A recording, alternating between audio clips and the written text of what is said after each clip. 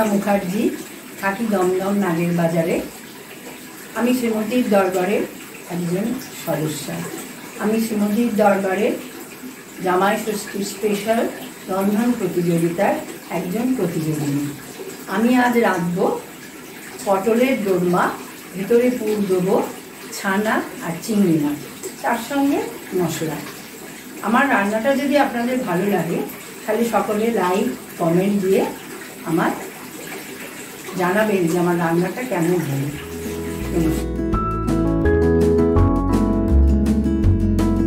এবারে আমার পটলের দোরমায় কি কি লাগছে আপনাদের একবার বলে দিচ্ছি। পটলগুলো এরকম রাখতে মানে ছুরি দিয়ে আমি এরকম করে চেঁচে তারপরে ভেতর থেকে চামচের এই নিচটা দিয়ে ভেতরের ওই পটলের বীজগুলো বার করে নেব। পটল এটা আসল মেটে তারপরে ছানা, দুধ কাটিয়ে ছানা করেছি বাড়িতেই চিংড়ি মাছ, তারপরে পেঁয়াজ দুটো কাঁচা লঙ্কা, একটা টমাটো, এক ইঞ্চি মতন আদা একসঙ্গে পেস্ট করেছি। এতে আছে ধনে গুঁড়ো, হলুদ গুঁড়ো, জিরে গুঁড়ো, লঙ্কার গুঁড়ো। একটু টেস্ট আনার জন্য কিছুটা কিশমিশ কাজু। এবারে যেটা ছাড়া রান্না হয় না একদম, স্বাদ আনার জন্য নুন এবং তার সঙ্গে চিনি। তারপরে লাগছে আমার তেলটা। এই এটা সাদা তেল সাদা তেল দিয়েই করব আমি।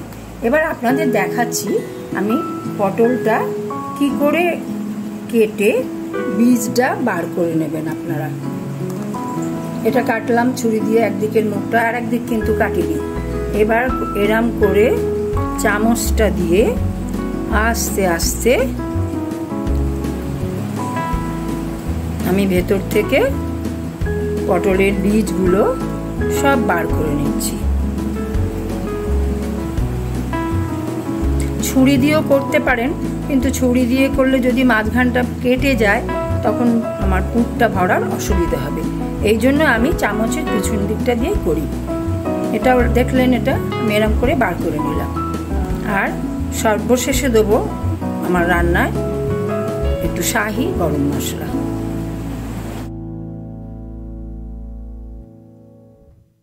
আরে গ্যাসটা জানলাম একেবারে হাই ফ্লেমে দিলাম।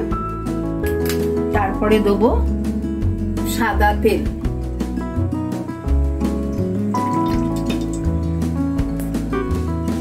সাদা তেল দিলাম। এইবারে পটলগুলোকে সামান্য নুন আর হলুদ দিয়ে মাখিয়ে নিচ্ছি। বেশি দেবেন না, একটু দিলেই হবে, তাহলে কালো কালো হয়ে যাবে। আমি মাখিয়ে নিলাম।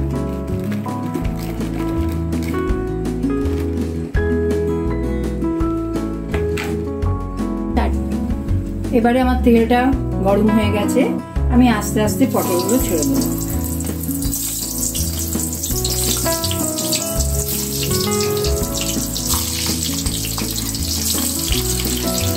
পটলগুলো কিন্তু পুরো ভাজবো না। মানে আধা ভাজা হলে আমি তুলে দেবো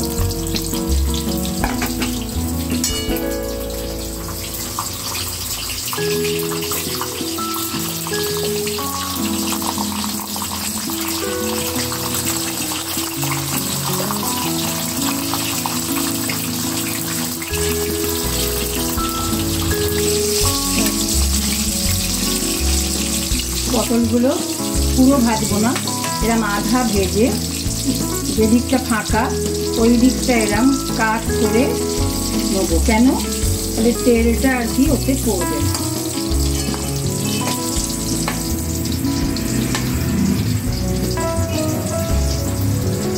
এইভাবে সব পটলগুলো তুলে নিচ্ছি।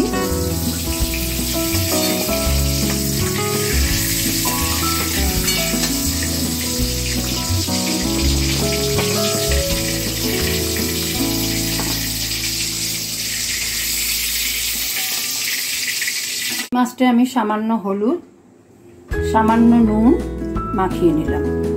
নিয়ে এটাকে অল্প ভেজে নেব।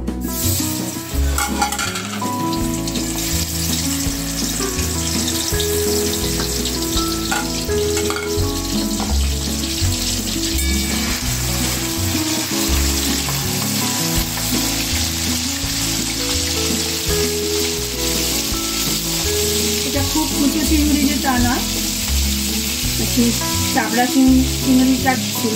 আমি ওটা অত বড় না লেখে একটু ছোটো ছোটো পিস করে নিয়েছি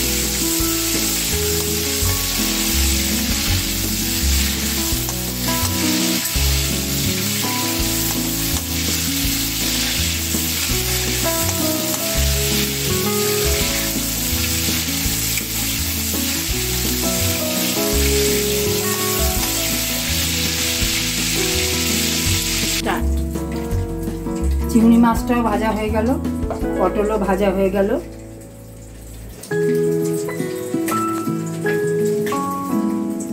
এইবারে আমার পেঁয়াজ, আদা, কাঁচা লঙ্কা, টমেটো।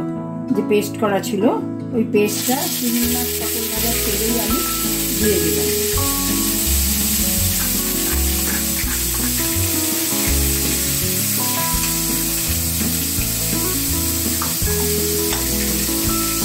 দিয়ে এবারে আমি এই যে জিরে, হলুদ, লঙ্কা, ধনে গুঁড়ো, ওটাও দিয়ে দিলাম।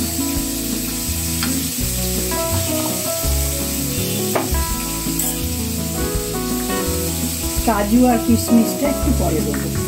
এবারে এটা নাড়তে থাকব। গ্যাসের ফ্লেমটা কিন্তু মিডিয়ামে থাকবে। এবারে আমার মশলাটা দেখছেন কষে এসছে, তেল ছেড়েছে। তখন আমি এই ছানাটা আস্তে আস্তে এরম গড়িয়ে গড়িয়ে দিয়ে দেবো। পুরো ছানাটা দিয়ে দিলাম। এইবারে দেবো স্বাদ অনুসারে চিনি, নুন, কেন পটলে একটু নুন মাখানো আছে ওটা বুঝে দিতে হবে। এবারে এটাকে আমি শুকনো করব একদম। এবারে আমার ছানা, পেঁয়াজ, আদা দিয়ে বাটা মশলা দিয়ে আর যা যা মশলা দেওয়া দিয়ে পুরটা হয়ে গেছে লাস্টে আমি চিংড়ি মাছটা দিলাম। চিংড়ি মাছটা দেওয়ার পরে এবার যে গরম মশলাটা ছিল, ওটা দিয়ে দিলাম।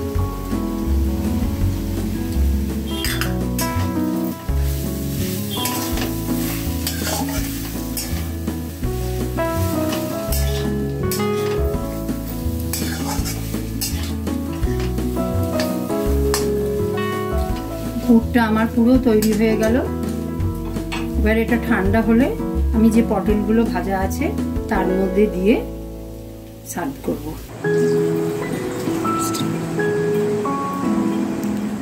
এবারে এই পটল ভাজা হয়ে গেছে, পুর তৈরি হয়ে গেছে। আমার শেষ পর্ব এই রান্নার। আমি চামচে করে করে এবার পুরগুলো ভরবো। চামচে করে হবে না। এরম করে করেই পুরগুলো ভরে দেবো।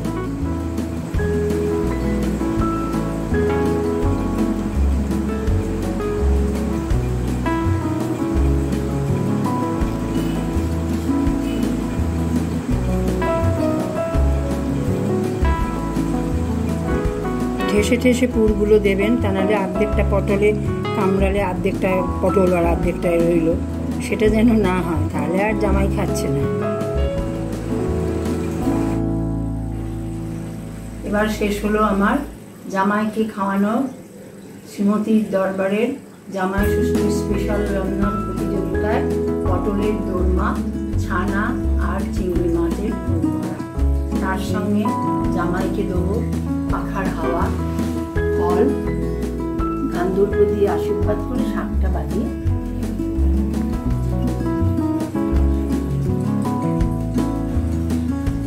নমস্কার। পটলের দোরমা বানানো শেষ।